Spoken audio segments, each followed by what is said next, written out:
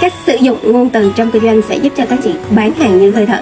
À, Phú sẽ kể cho cả nhà của mình một cái câu chuyện để các chị thấy rằng sự khác biệt giữa cái ngôn từ mà chúng ta sử dụng đúng ở trong cái công việc kinh doanh và cũng như là cái việc mà chúng ta sử dụng chưa đúng à, nó sẽ có tác động đến cái kết quả của chúng ta như thế nào ha? À, thì gần nhà Phú có hai người chị cùng bán một mặt hàng à, ở chợ à, đó là bán hàng rau với chị. Rau củ quả tất cả mọi thứ luôn. À, à, nhưng mà hai người này sẽ tạo ra hai cái kết quả khác nhau. À, và một người à đó là bán hàng như hơi thở. Một buổi sáng dọn ra 5 giờ à, thì 7 giờ 7 rưỡi 8 giờ đã sạch trơn hàng luôn. À, nhưng một cái người thì cũng dọn ra những cái mặt hàng y chang như vậy là hai người này thì cũng lấy từ một cái nơi à, cung cấp cái thực phẩm đó luôn. À, nhưng mà cái người thứ hai thì lại bán rất là chậm bán rất là lai rai và từ sáng tới chiều. À, gọi là à, bán hàng ế đó các chị. Thì sự khác biệt gì mà tạo nên hai cái kết quả khác nhau hoàn toàn như vậy các chị?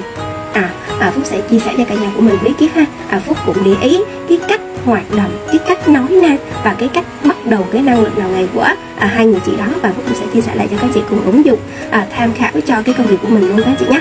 À, cái người thứ nhất à, đó là cái chị ấy rất là ngon miệng luôn. Trên cái khuôn mặt lúc nào cũng cười thấy các chị. À, luôn luôn à, rạng rỡ như vậy. Và khi mà dọn hàng lúc 5 giờ sáng thì gặp bất kỳ ai. Thì chị ấy cũng nói à, một cái câu rằng là chị ơi em ơi ủng hộ giúp em một ký để giúp cho em có sự may mắn trong ngày mới nhé à và một nụ cười rất là tươi và họ sẵn sàng mua hàng của chị ấy luôn. À họ có thể mua thêm những cái sản phẩm khác nữa các chị. À các chị thấy có sự khác biệt không ạ. Và và sau cái điều đó cũng gửi tặng cho chị ấy thêm một cái bí kíp nữa đó là à, đó là chị hãy chúc phúc cho những người khách hàng của mình và chị cũng ứng dụng y chang như vậy luôn. À, và một cái điều tuyệt vời là ở chợ những cái người họ bán không được hàng mặc dù cùng chung sản phẩm. À, nhưng mà chị ấy bán hàng như hơi thở luôn.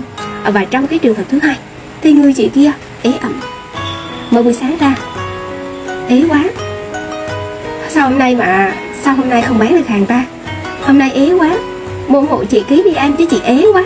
À các chị thấy người chị đó đã bắt đầu cái năng lượng đầu ngày trong một cái tần số năng lượng rất là thấp. Một cái tần số năng lượng là không có cái sự vui vẻ và thoải mái. Bởi do đó là khách hàng họ không thích cái điều đó các chị.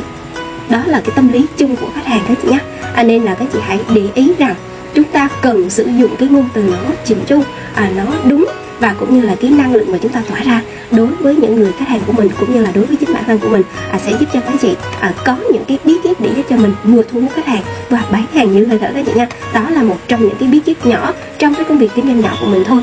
Và các chị nào mong muốn nhận thêm nhiều bí kíp cũng như là cái kỹ năng để giúp cho các chị bán hàng như hơn nữa thì các chị có thể ấn ngay vào phần mail dưới avatar của phúc để đồng hành mỗi ngày. Chúng ta sẽ ừ, thay đổi từ những cái tư duy cái gốc rễ và có cho mình những cái phương pháp tuyệt vời hơn các chị nhé.